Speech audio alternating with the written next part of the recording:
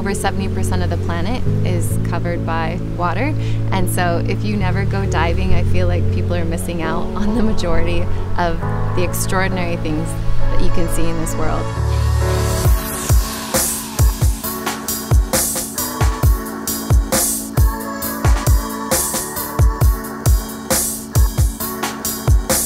I think most people grow up with a perception of sharks as mindless monsters. Um, oftentimes people will express concern if they have a cut on their finger, they think that a shark's going to swim by if they go swimming. Um, and there's all these misperceptions because the way that they're portrayed in traditional media.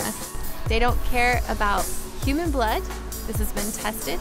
They don't care about urine. They're not going to get excited about that either. Um, but they do care about specific types of fish blood.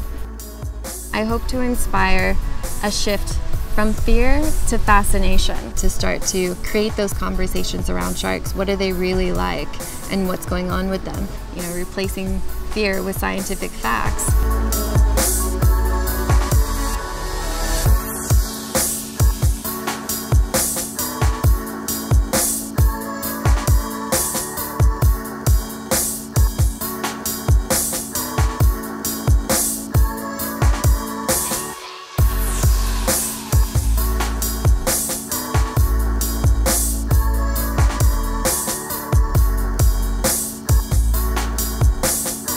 So this course is for everyone. I really want to address what I feel everyone in the world should know about sharks. Not only for their own personal safety so that they can have healthier and more respectful interactions with sharks and the ocean, but also I hope that people are inspired to actually help save the lives of sharks.